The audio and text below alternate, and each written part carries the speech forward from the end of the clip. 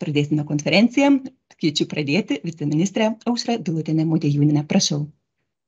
Labą dieną visiems. Na kągi, tokį gražų, gražią žiemos dieną e, sveikindamasi, e, na, turiu matyti pradėti nuo to, kad šie metai yra šiek tiek kitokie, kadangi visi susirgymai virusiniai prasidėjus skaitant gripą anksčiau, kaip ir visoje Europoje, tai yra ne didžiausia banga sausio vasario mėnesį, kada mes esame įpratę matyti didžiausius skaičius, tačiau pradėjome jau ir spalio pabaigoje turėti pirmosius gripo atvejus.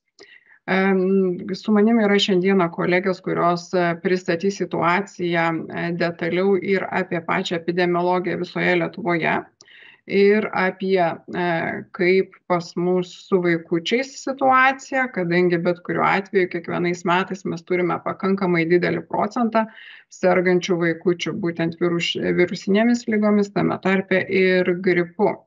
Aš labai trumpai noriu tik tai e, pabrėžti ir patikinti, kad šiuo metu situacija iš tiesų valdoma, kontroliuojama, nėra kažkuom išskirtinė, taip susirgymų anksčiau ir daugiau, tačiau jie analogiškai stabilūs kaip ir ankstesniais metais. Taip pat turime, kaip ir kiekvienais metais, ne tik na, mirčių susijusių su gripu, tai irgi trumpai pristatys nacionalinis visuomenės sveikatos centras. Taip, mes šiais metais jau turime pirmąją E, tačiau vėlgi galima pasidžiaugti, kad e, turime nemažą ir vakcinacijos procentą e, iš asmenų, kurie yra rizikos grupėje, netgi 83 procentai yra pasiskiepę gripo vakcina, kas tikrai padeda išvengti sudėtingų komplikacijų, kartais ir pačio gripo. E, tai kas nepadaręs yra, netlikęs ir galvotų, reikia ar nereikia, tai tikrai įsivertinkim, šiemet gripas atėjo anksčiau pas mus. Tai vakcinos veiksmingos, nes e, tie susirgymai yra lengvesni, neturintis e, didelių komplikacijų.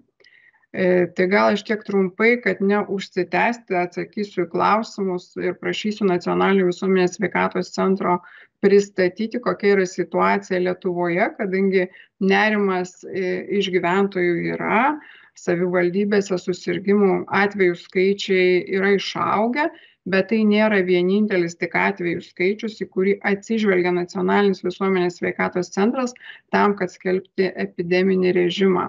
E, tikrai yra bendradarbiavimas su kiekviena savivaldybė atskirai ir vertinama, vertinami rodikliai. Rodikliai vertinami ne tik tai atvejai kiekvieną savaitę, bet ir situacija atskirai ir mokyklose, ir pačioje savivaldybėse, turint skaičius, kiek pačių gyventojų turime sergančių, kiek yra hospitalizuota. Tai kaip ir minėjau pačioje pradžioje, nėra išskirtinai šie metai kitokie, tik tai prasidėjo su šiomis viruso lygomis ir gripu anksčiau negu įprasta. Tai gal aš prašysiu tuomet Greta detaliau pristatyti situaciją Lietuvoje. Ir, ir vėliau gerbimą daktarę pristatyti, kaip pas mus su vaikučiais, kadangi standartiškai jų apie 50 procentų iš visų sergančiųjų sudaro vaikai. Tai labas rytas visiems. Iš tikrųjų noriu turbūt vizualiai parodyti visą informaciją, kuri buvo išsakyta ir viceministrės ir kuri e, būtent yra pateikiama e, žodžiais, bet gal ne tiek vizualiai e, kiekvieną pirmadienį, kalbant ir vertinant tą sergamumą gripu ir kitomis kvepavimo takų lygomis. Tai galbūt norėčiau atkreipti dėmesį, kad šie metai šiek tiek apskritai yra kitokie, todėl kad mes prie, buvom pratę tą epideminį sergamumo lygį stebėti tik tais registruojant gripo ir kitu, kitas umės kvepavimo takų infekcijas infekcijas. Tai šiais metais prisidėjo ir COVID lyga ir mes stebim jau tą vadinamą suminį sergamumą ir tas suminis sergamumas sudaro būtent sergamumas gripu, UVKTI arba ūmiomis viršutinėmis kvėpavimo takų infekcijomis ir COVID-19 lyga tai visos tos trys ligos ir tas suminis sergamumas yra stebimas šiemet ir pasikeitė epideminis rodiklis. Jeigu prieš tai iki pandemijos mes turėdavom šimtą atvejų dešimčiai tūkstančių gyventojų tai dabar turim kitą rodiklį kadangi prisidėjo covid devyniolika liga ir šiais metais epideminis lygis yra tūkstantis penki šimtai atvejų šimtui tūkstančių gyventojų. Tai jūs iš tikrųjų šitoj vizualinėj šitoj skaidrėj matot informaciją tiek iki pandeminių sezonų sergamumo dinamiką tiek ir ir ir šio sezono. Tai kaip ir minėjo viceministrė ir specialistai tą kartoja nuo sezono pradžios kad tas sergamumas tikrai dar nepasiekė to vadinamo piko kuris būdavo įprastai iki pandeminiu laikotarpiu tačiau tendencijos yra labai panašios kalbant apie patį sergamumo didėjimą. Tik tiek kad šiemet mes matom tikrai daug ankstesnį sergamumo kilimą bet visa kita situacija tikrai byloja kad tai yra įprastas kol kas tai yra įprastas pagal ir įprastos tendencijos ir būdingos sergamumui gripu ir kitomis kvėpavimo takų infekcijomis ypač peršalimo ligų sezonu kalbant apie situaciją savivaldybėj naujausi duomenys iš tikrųjų dvidešim dvi savivaldybės yra pasiekusios tą vadinamą epideminį lygį kaip minėjau tūkstantis penki šimtai atvejų šimtui tūkstančių gyventojų. Gal galima būtų išskirti didžiausius rodiklius turinčias savivaldybes tai yra didieji miestai kauno miestas panevėžio miestas taip pat klaipėdos miestas ir rajonai tai yra kėdainių rajonas ir kazlų rūdos savivaldybė. Tačiau kaip ir minėjo viceministrė tikrai rodiklis nėra pats pagrindinis kriterijus epidemijos skelbimui todėl kad yra atsižvelgiama į visus kitus kriterijus tokius kaip situacija ugdymo įstaigose situacija to tos administracinės teritorijos asmens sveikatos priežiūros įstaigose taip pat testavimo apimtys testavimo teigiamų teigiami rezultatai ir ir ir tikrai nemažai kitų rodiklių tai kol kas šiose savivaldybėse tikrai nėra šią savaitę nebuvo planuojama skelbti epidemijos laukiama kitos savaitės rodiklių todėl kad situacija yra pakankamai stabili. Tiek ugdymas tiek gydymo įstaigos jaučia padidėjusių sergančiųjų tą skaičių ir kiekį tačiau situacija yra valdoma ir kol kas tikrai savivaldybės bendradarbiaujant su jomis neišreiškia tikrai didelio poreikio ir noro jau paskelbti epidemijas kol kas yra viskas tiktai stebėjimo stadijoje. Kalbant apie sergamumą gripu ir kitom kvėpavimo takų infekcijomis vaikų tarpe kadangi iš tikrųjų vis akcentuojama kad vaikų šiemet sergam serga daugiau negu įprastai tai iš tikrųjų noriu nuraminti galbūt arba pabrėžti kad tų vaikų tikrai neserga šiemet daugiau negu kad įprastais sezonais iki pandemijos. Ir čia matot iš tikrųjų bendrai registruotų atvejų skaičių kvėpavimo takų infekcijomis iš jų vaikai ir procentas ir taip pat gripu ir vaikų sergamumą gripu tai kalbant taip procentaliai sakykim jeigu šiemet iš visų užregistruotų kvėpavimo takų infekcijų vaikai sudaro penkiasdešim penkis procentus tai iki pandeminiu laikotarpiu tas procentas būdavo netgi didesnis šešiasdešim keturi procentai. Kalbant apie gripą procentas šiais metais yra šiek tiek didesnis bet tai galima sieti su didesniu besikreipiančių asmenų kiekiu ypač vaikų ir didesniu galbūt testavimu vaikų tarpe ir to gripo nustatymu. Tačiau bent jau į tas bendras tendencijas žiūrint vaikų sergamumas šį sezoną pagal dabartinius duomenis tikrai nėra kažkoks neįprastai didesnis negu iki pandemijos buvusiais gripo sezonais kalbant apie hospitalizacijas ir apie vaikų hospitalizacijas taip pat situacija nėra kažkokia išskirtinė nes stebint daugiametės hospitalizacijos apimtis išskyrus būtent tą jau pandeminį laikotarpį tai vidutiniškai tikrai būdavo hospitalizuojami apie trylika procentų vaikų iki dviejų metų amžiaus ir vyresnių apie penkiasdešim procentų ir iš viso vaikai vidutiniškai sudarydavo apie šešiasdešim šešiasdešim tris procentus iš visų hospitalizuotų asmenų tai šį sezoną pagal turimus duomenis tendencija labai panaši. Vaikai iki dviejų metų sudaro apie dvylika procentų vyresni iki šešiasdešim dviejų procentų o apskritai vaikai sudaro septyniasdešim keturis procentus iš visų hospitalizuotų asmenų. Tai kaip ir paminėjo viceministrė šiemet registruojam pirmą mirties atvejį. Vakar gauta informacija apie vilniaus miesto gyventoją vyresnį vyresnio amžiaus garbingo devyniasdešim keturių metų amžiaus asmenį turintį labai daug lėtinių ligų. Ir šis žmogus buvo hospitalizuotas ligoninėje būklei blogėjant ir komplikuojantis situacijai buvo konstatuota mirtis ir galutinė mirties priežastis yra gripas su pneumonija. Taigi šiemet registravom pirmą mirties atvejį. Kaip matot šitoje skaidrėje iki pandemijos laikotarpiu taip pat būdavo registruojama mirties atvejų daugiausiai mažiausiai trys daugiausiai dvidešim šešios mirtys per sezoną. Tai vidutiniškai imant tikrai daugiametę statistiką apie aštuonis vidutiniškai mirties atvejus per sezoną būdavo registruojama. Tai šiais metais turime vieną mirtį tikimės kad daugiau jų ir mm, nebus.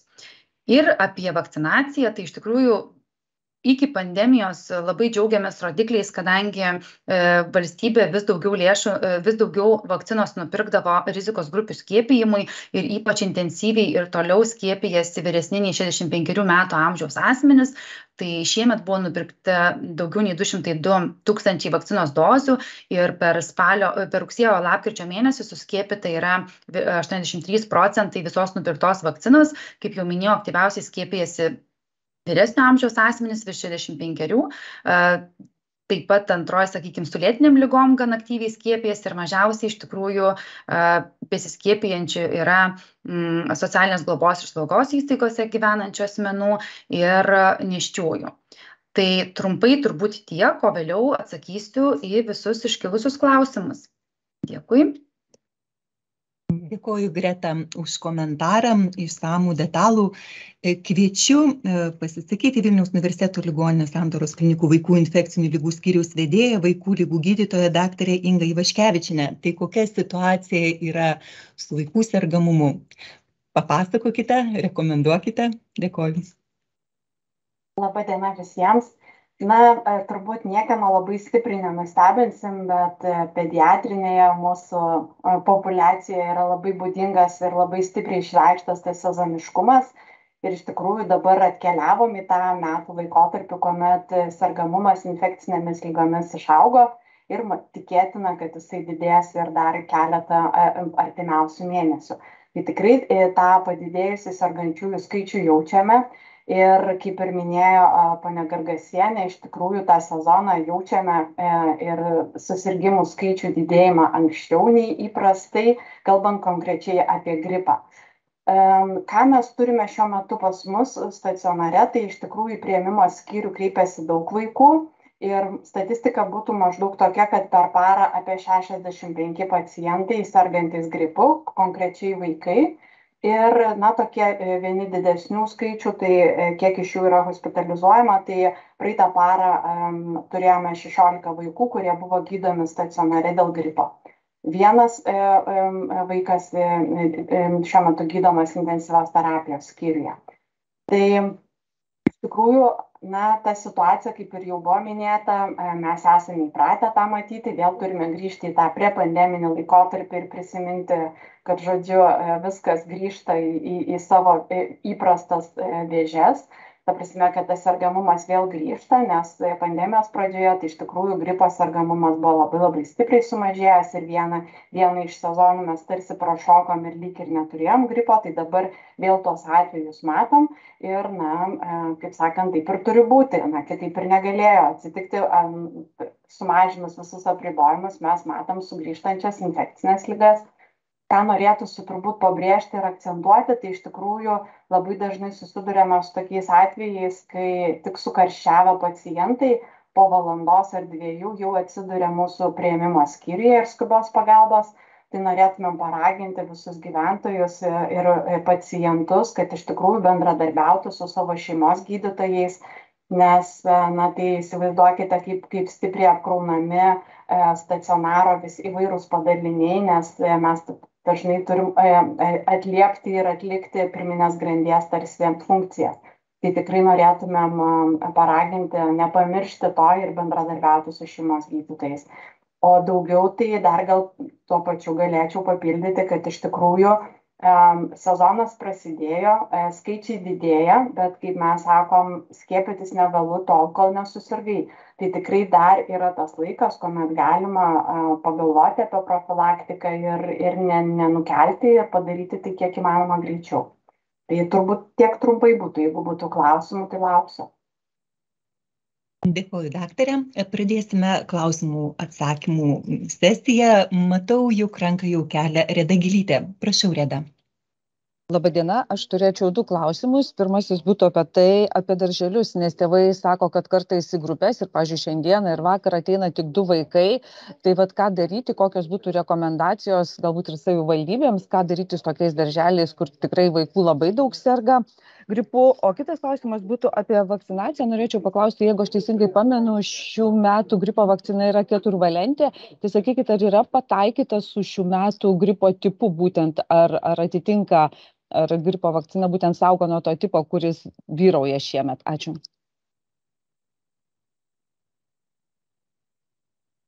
Greta, prašome, gal e, pirmą klausimą turbūt Greta, o apie e, gripo vakciną gal paprašysime daktarės Ingas. Tai tikrai ačiū už klausimą. Galbūt e, atkreipčiau dėmesį, kad esant poreikiui ir nebegalint užtikrinti ugdymo, ypač iki, iki mokyklinukų tarpe arba būtent pradinėse klasėse, ugdymo įstaiga kreipiasi į mūsų centrą su prašymu būtent skelbti infekcijų plitimą ribojantį režimą ir tokio režimo paskelbimas leidžia ugdymą, sakykime, nutraukti arba jį organizuoti nuotoliniu būdu, jeigu yra įmanoma. Ir tokiu atveju tėveliai gali gauti nedarbingumo išmoką ir su vaikučiais būti namie e, to būtent infekcijų plitimą ribojančio režimo e, taikymo e, metu.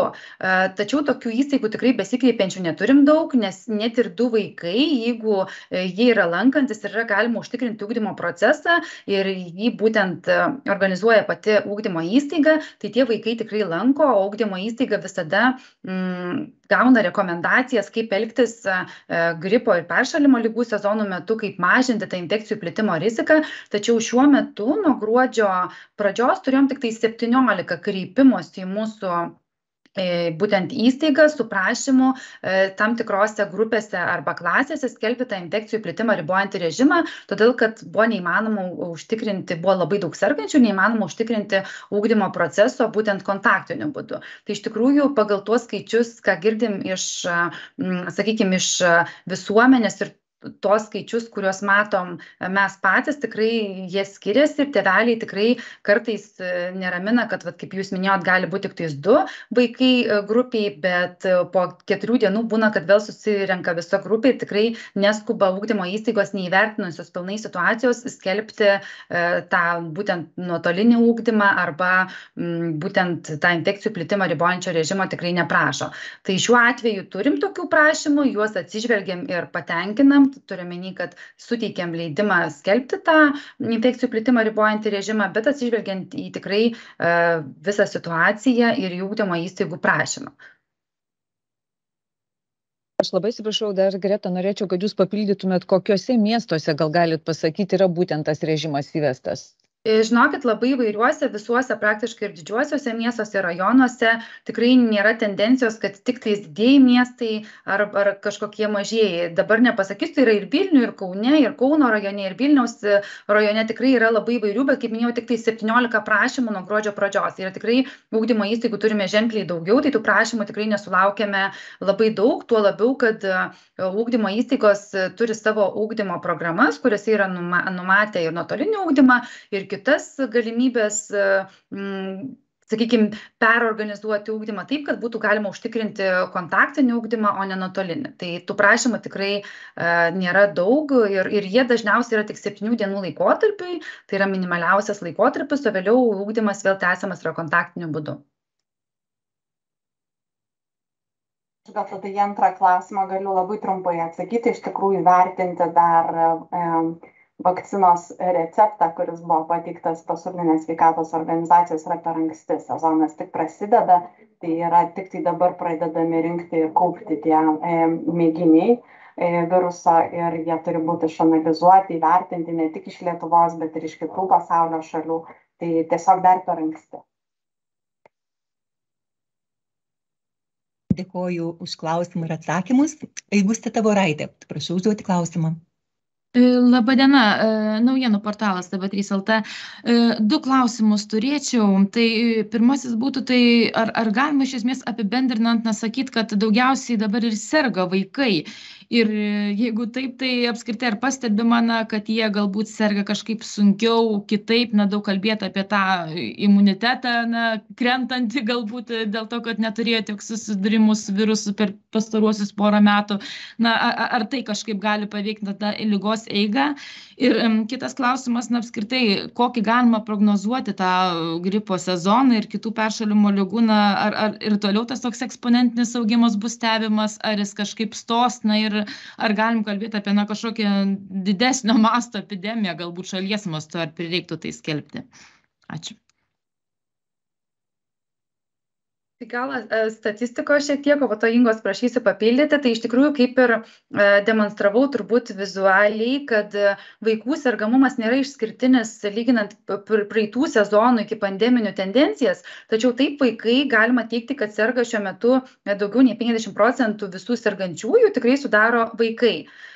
Dėl sunkumo lygos tai Ingos paprašysiu turbūt pakomentuoti o dėl e, prognozių labai sunku prognozuoti kadangi visa europa ne tik lietuvoj yra registruojamas tikrai didėjantis sergamumas ir dažniausiai vakarų europoj esanti tas tas sergamumas e, parodo ko po kokio mėnesio tikėtis rytų europoj tai kadangi vakarų europoj tikrai stebimas tas didesnis sergamumas ypatingai gripo ir respiracinio sincitinio viruso visam fone tai tikėtina kad lietuvoj tas sergamumas gali būti registruojamas ir toliau tas didėjantis bet kada pasieksim piką tikrai e, prognozuoti gana sudėtinga.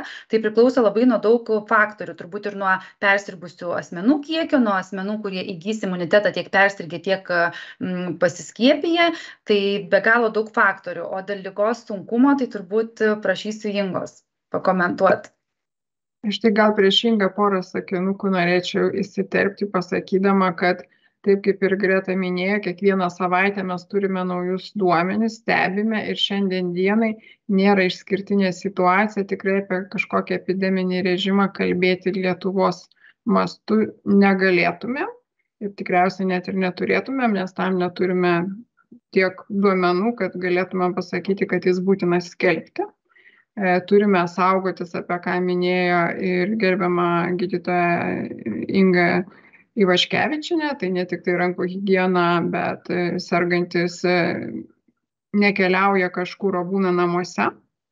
Tai saugodami vieni kitus ir patys save tikriausiai galėsime išvengti kalbant apie pakilimą tai įprastai kol kas stebim nieko naujo tiktai ankstesniu laikotarpiu visa šita kreivė kyla. Tai be abejonės atsiranda pikas ir standartiškai turėtų būti na stabtelėjimas ir besileidimas žemyn. Tai jeigu anksčiau prasidėjo tai tikriausiai visi modeliuoja tą patį modelį ir europoje ir mes kad e, turėtų būti dar na turbūt grubiai dvi trys savaitės kilimas vėliau stabtelėjimas ir leidimasis žemyn. Kaip bus šiais metais na tikriausiai vat kaip ir kolegė greta paminėjo matysime kokia situacija Europoje panaši būna įprastai ir pas mus tik šiek tiek vėliau. Tai aš atsiprašau, Inga, prašau. Viskas gerai, puiku, labai ačiū už papildomus komentarus, man atrodo, tada atskleidžiama įvairia pusiškiau visa situacija. Dėl vaikų sergamumo kažkokio išskirtinių bruožų šiemet tikrai nėra. Matome šiuo metu kol kas įvai, tą tokią klinikinę situaciją kaip ir anks, ankstesniais metais. Na tik man vis tiek bekalbant peršasi ta mintis, kad tikrai ne pirmą kartą kalbam ir vis apie tą patį ir vis tiek, bet turim puikią profilaktikos priemonę, tik labai labai apmaudu, kad na, daug kas jie nepasinaudoja. Tai iš klinikinės pusės neturėčiau kažkokiu tai papildomų komentarų. Dėkojame už atsakymus. Kviečiu klausimą užduoti Edita Vite. Prašau, Edita. Sveiki, ar girdite mane? Alio, girdite, ne? Taip, girdime, puikiai. Taip, daktarė Ivaškevičiane, aš noriu jūsų paklausti, sakėte, kad, na, tik sukarščiavus vaikui neskubėti tėveliams vežti į, į prieimimo skyrių. Tai sakykit, kada yra ta riba ir žinoti, kada tas karštis arba negalavimas jau tiek stiprus, kad jau reikia specialistų pagalbos ir namuose, na, nereikėtų dėlsti, kaip sakoma, ar tai praeis savaime. Gal galėtume tam takrų, tėveliam tokių signalų? Čia reikėtų pusę medicinos išdėstyti, tai iš tikrųjų nėra tas vienos tokios kažkokios piliulės, vieno labai paprasto sprendimo ar atsakymo, kada vat, yra jau tas momentas, kad jau tikrai reikia jums keliauti prieimimą. Mano mintis buvo tokia, kad na, pacientai tiesiog net nesvarsto galimybės kreiptis į šeimos gydytoją ir iš karto vyksta pas mus. Tai tas, na, iš tikrųjų labai stipriai apsunkina mūsų visų darbą. Tiesiog yra sistema ir, ir būtų gerai, kad visi laikytųsi tų taisyklių ir leistų jai daryti savo, dirbti savo darbą kiekvienam tos sistemos dalyviui.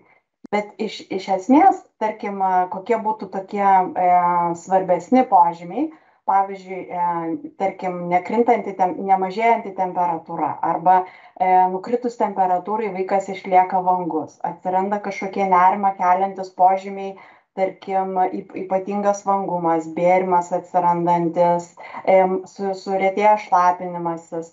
Tai turbūt tokie na nes vaikai karščiuoja jie dehidratuoja jie nustoja gerti tada prasideda didžioji dalis problemų.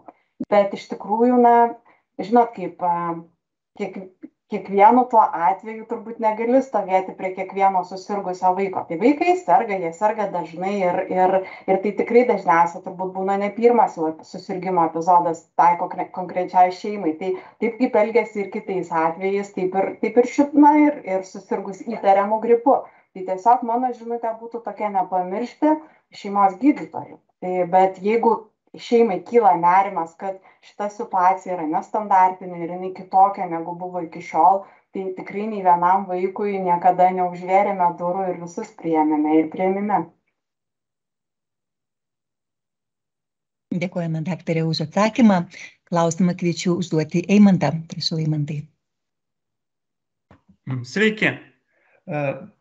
Eimantas Šautis, portalas ilrytas.lt. Aš norėjau pasiteirauti dėl šeimos na, gydytojų krūvio, nes serga ne tik vaikai, serga suaugusieji taip pat ir na, tiesiog teko girdėti, kad sulaukia labai daug na, ir ekstrinių pacientų, 10-15 per dieną ir tai nemaža dalis jų yra tiesiog žmonės, kuriems na, reikia nedarbingumo lapelį gauti. Tai tiesiog norėjau pasitraukti, ar yra numatyta kažkokių priemonių, turint omeny, kad šitas sergamumas, kaip yra numatoma, auks dar 2-3 savaitės, paskui dar išliks, tai šita situacija na, neišsispręs labai greitai, kažkaip palengvinti tą šeimos gydytojams tenkantį krūvį.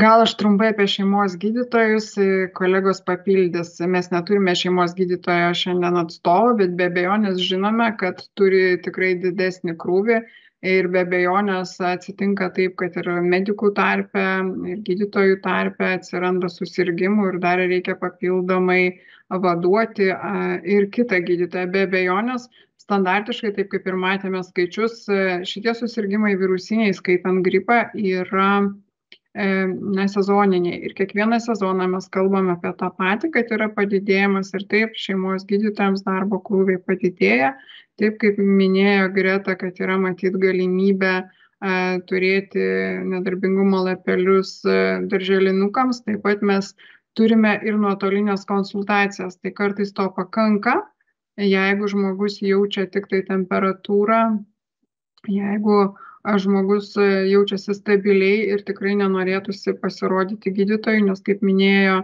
ir mūsų daktarė labai dažnai atsitinka tokios situacijos kad kreipiasi tuo metu kada jau yra kažkokių kitokių požymių ypatingai jeigu su vaikučiais tai nori įsivertinti tam kad būtų ramūs analogiška matyt situacija ir su rizikos asmenų grupėmis. Jeigu turiu gretutinį susirgimą aš tikrai būtinai norėsiu pasirodyti pas kad mane pasižiūrėtų ir įvertintų gydytojas mano situaciją. Situacijų yra įvairių asmens sveikatos priežiūros įstaigos irgi darbą organizuojasi na tikriausiai ne pagal vienodą standartą. Ir kaip aš minėjau yra tikrai galimybė likusi nuo pandeminio momento apie nuotolinės konsultacijas kalbėti. Ir vadinasi, jeigu mes turime šeimos gydytoją, turime galimybę ir pasiskambinti, susisiekti įprastu būdu arba žinoti, kokia yra situacija ir kokia, koks darbo organizavimas yra konkrečioje įstaigoje. Kaip minėjau, šiandien savo um, ratelėje neturime šeimos gydytojo, kadangi e, visuomenė dažniausiai kildavo klausimai susiję su vaikučiais, tai kad vaikučių labai daug serga, didelis e, skaičius, daug papuola gydymo įstaigas yra specifiniai simptomai. Ir dėl to mes šiandien savo pokalbio metu turime būtent e, specializuotą na, asmenį, specialistą, ekspertą, kuris gali kalbėti apie vaikučius. Ačiū. Dėkoju už klausimą ir atsakymus.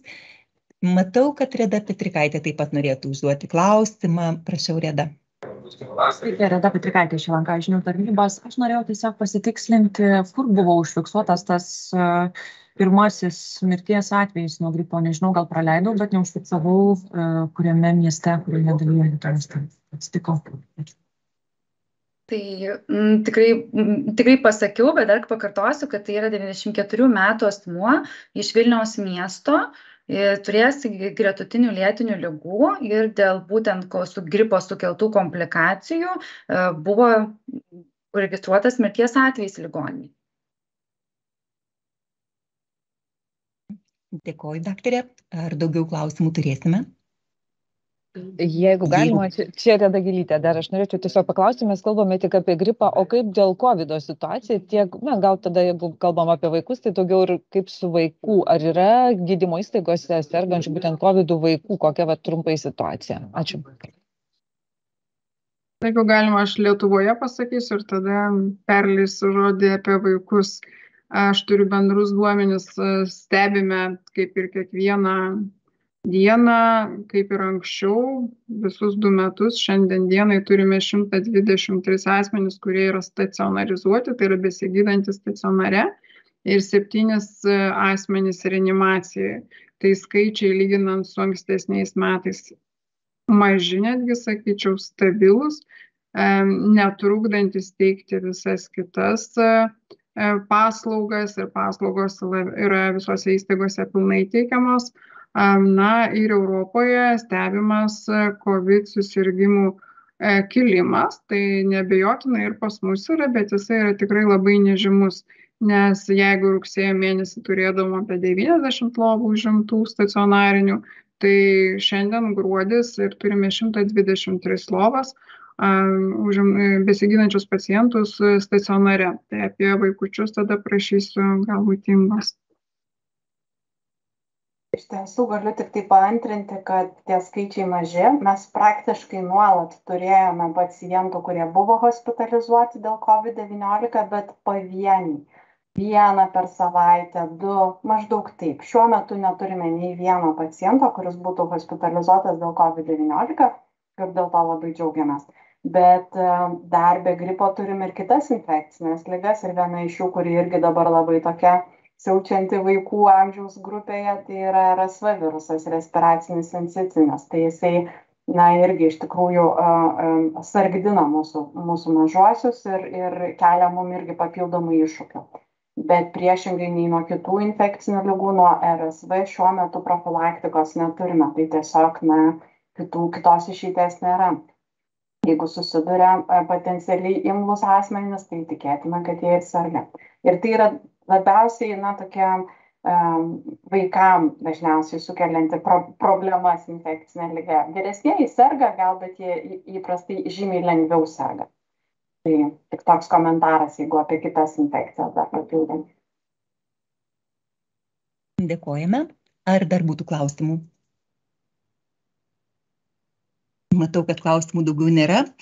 Dėkoju visiems dalyvavusiems. Primenu, kad šiandien spaudos konferencijoje dalyvavo ir jums komentavo sveikatos apsaugos viceministrė Aušra Bilotinė Motejūnenė, Nacionalinio visuomenės sveikatos centro užkrečiamųjų lygų valdymo skyriaus patarėja Greta Gargasienė bei Vilniaus universiteto ligoninės Santoros klinikų vaikų infekcinių lygų skyriaus vedėja, vaikų lygų gydytoja daktarė Inga Ivaškevičiane. Kągi, iki kitų susitikimų. Likime sveiki. Ačiū visiems. Būkime sveiki.